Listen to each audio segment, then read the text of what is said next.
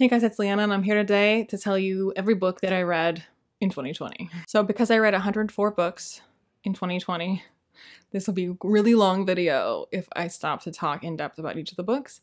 So I'm just to tell you the book and the star rating that I gave it and then maybe maybe if it's a if it's one that I particularly loved or particularly hated, I might throw in a line or two saying something more about it. But it's just to be mainly a list. So, off we go. The first book that I read was Guinevere Deception by Kiersten White. I gave that two stars. Then I read Assassin's Apprentice by Robin Hobb. I gave that four stars. Then I read Serpent and Dove by Shelby Mahurin, and I gave that two stars. And then I read The Fellowship of the Ring by J.R.R. Tolkien, and I gave that four stars. And then I read A Study in Scarlet by, I was going to say by Sherlock Holmes, by Sir Arthur Conan Doyle. I gave that four stars. And all of the books that I just listed, I have standalone videos or reviews for them. Uh, the Guinevere Deception is actually a combo where I talked about that and Sorcerer's, uh, no, Sorcery of Thorns, yeah. But anyway, yeah, I have separate videos for those books. Uh, the next book that I read was the first volume of Sons of Ares uh, by Pierce Brown. It's a graphic novel prequel to the Red Rising books. I gave that five stars. Made me cry. The next book that I read was Nocturna by Maya Motayne. I gave that one star. I have a rant review for that. The next book I read was Daisy Jones and the Six by Taylor Jenkins Reid. I gave that five stars, and I have a standalone review for that. Uh, and it made my best books of the year as well. Then I read The Queen of Attolia by Megan Whalen Turner. I gave that four stars. Then I read The Sign of Four by Sir Arthur Conan Doyle. I gave it three stars. Didn't like it as much as uh, Study in Scarlet, but I quite liked it. Then I read Born a Crime by Trevor Noah. Uh, I actually have a standalone review for that as well, and I also gave that five stars. And I think that might be on my best books of the year. If it wasn't, then it was a contender. I genuinely don't remember. Uh, then I read The Art of War by Sun Tzu, just because like I wanted to have read The Art of War by Sun Tzu.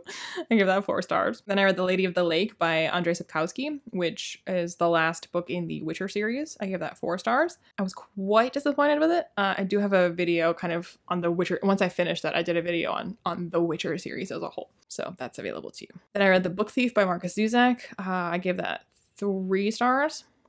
I was quite disappointed with that as well, but I do have a standalone review for it where I'm like, it was fine, but I don't get why people hype this.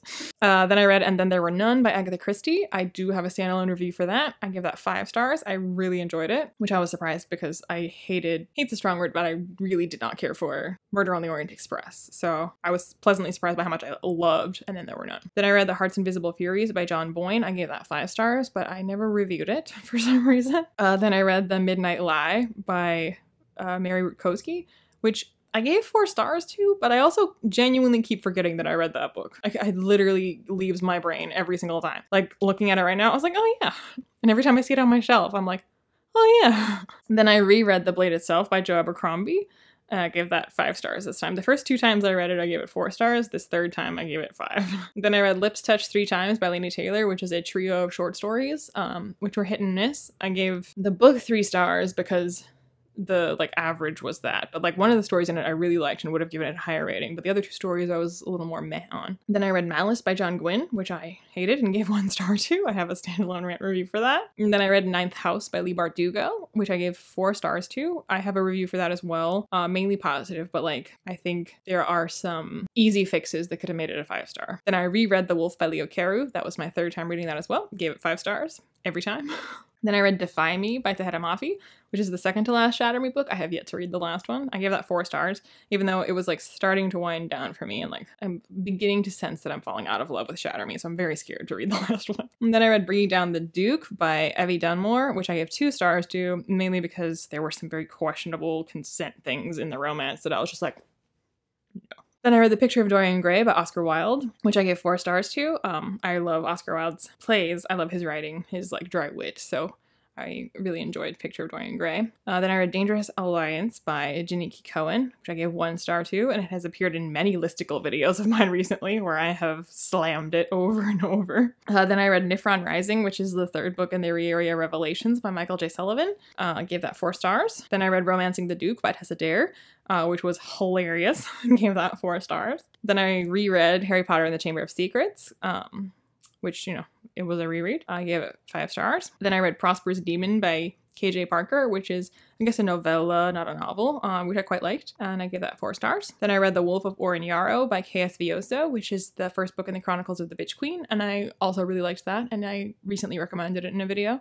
I gave that four stars. I finally read Vengeful by V.E. Schwab, which is the uh, sequel to Vicious, and I gave that five stars. Then I read The Silence of Bones by June Hur, which I gave four stars. Then I read The Paris Hours by Alex George, which kind of like The Midnight Lie. I keep forgetting that I read that, but I gave it four stars. I thought it was pretty good. Then I reread Before They Are Hanged by Joe Abercrombie, which I gave four stars. Uh, then I read Truly Devious by Maureen Johnson, uh, which is the first book in the Truly Devious series. Uh, read that all in one sitting. It was pretty great time. Gave that four stars. Then I reread The Gentleman's Guide to Vice and Virtue by Mackenzie Lee. Even though I had a great time with it, I still gave it three stars the second time. Then I read Uprooted by Naomi Novik, which I hated and I gave one star to. I have a standalone rant review for that. Then I finally, finally finished Red Sister by Mark Lawrence. I didn't hate it as much as Uprooted, but I didn't like it, gave it two stars.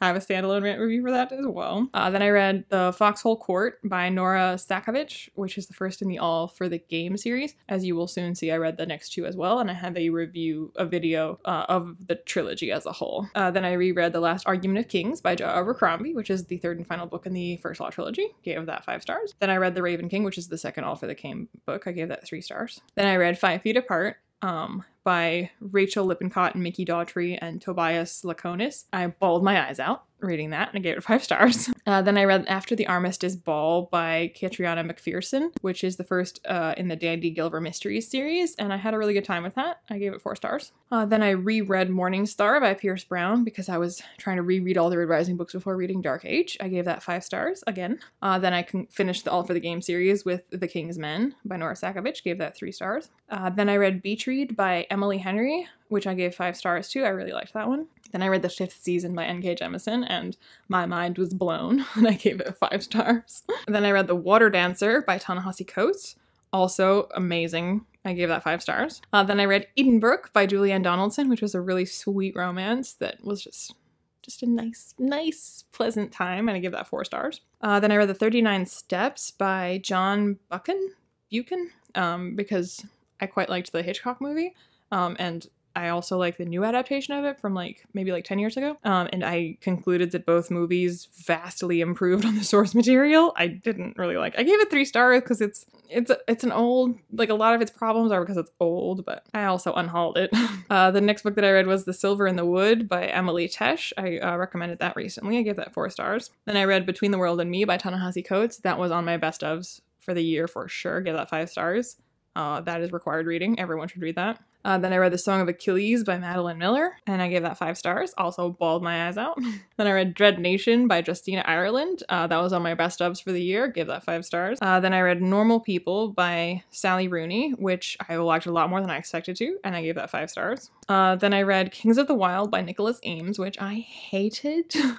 I have a standalone rant review for that. I give that one star. Then I read reread Iron Gold by Pierce Brown. Again, rereading Red Rising. Gave that five stars again. Uh, then I read The Obelisk Gate, which is the sequel to the fifth season, the second book in the Broken Earth trilogy. Gave that five stars as well. Mind continued to be blown. Uh, then I read the first three volumes of Sandman. So I read Preludes and Nocturnes and gave that four stars. Uh, I read The Doll's House, gave that five stars, and Dream Country, and gave that five stars. Those are all by Neil Gaiman, of course. Then I read Get a Life Chloe Brown by Talia Hibbert and liked that more than I expected to. Gave that four stars. It was really funny. Then I read Circe by Madeline Miller, which I didn't like as much as Song of Achilles, but I did think it was really good. I gave that four stars. Then I reread A Little Hatred by Joe Abercrombie. Gave that five stars because uh, in anticipation of the next one coming out. Then I read Daring and the Duke by Sarah MacLean and hated it. I think I like made that my worst of the year one star. Then I read Rage of Dragons by Evan Winter, which I have a review for. I gave that three stars. I didn't love it. I didn't hate it. I just I thought it was. Eh. Uh, then I read The Book of Three by Lloyd Alexander, which is the first book in the Chronicles of Prydain, uh, and I really enjoyed that. I gave it four stars. Then I finally, finally read Dark Age by Pierce Brown, having reread all of Red Rising, and mind blown. It was on my best uh, of the year for sure.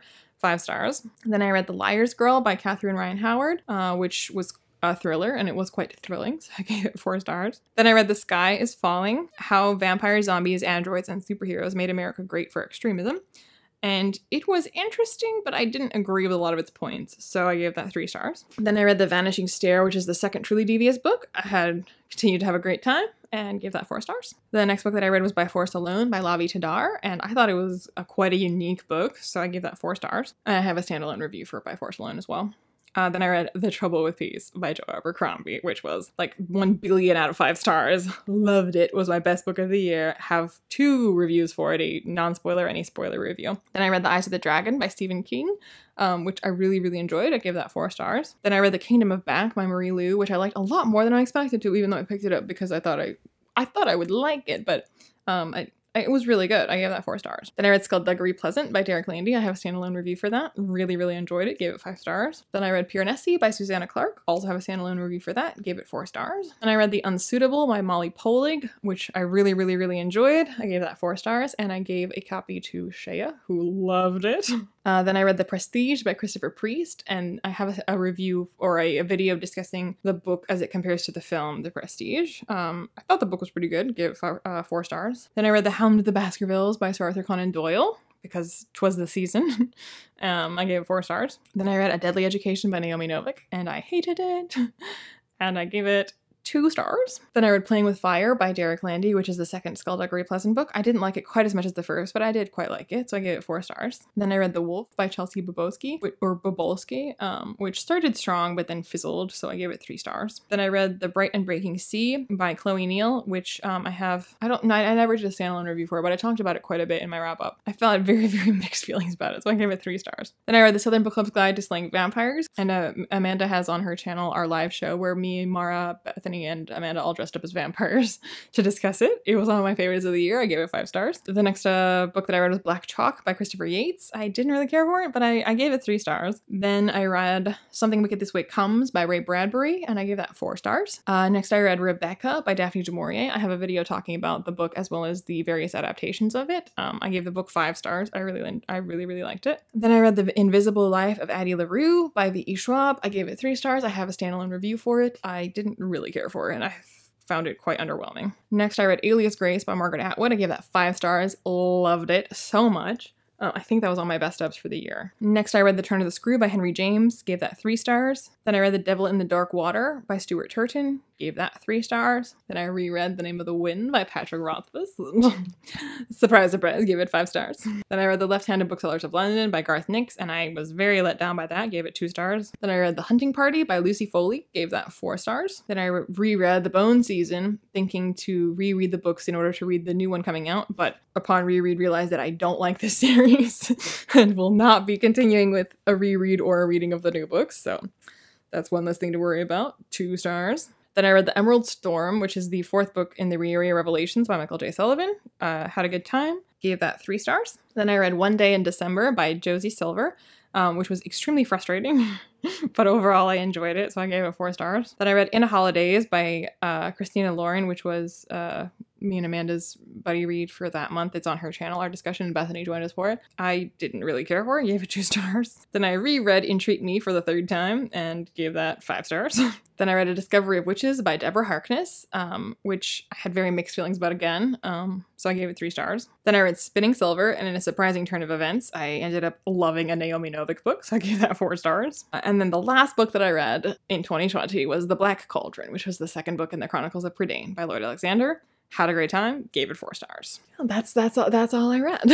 um, let me know in the comments down below if you read any of the books that I read. Um, if you liked or hated the books that I read, or whatever you want to let me know. Yeah. Hope this was entertaining for you. I know it wasn't too in depth. This would be like a monstrously long video if I went super in depth, like a full wrap up with all of them. So, yep, that's that's just all. All. There you go. Mission accomplished. My reading goal, uh, my reading challenge goal was 90 books. So I well surpassed my reading goal. So I've made my reading goal for 2021 100 books. Um, hopefully I surpass that again. Let me know in the comments down below all the things. Uh, I post videos on Saturdays, other random times as well, but definitely Saturdays. So like and subscribe, and I'll see you when I see you. Bye.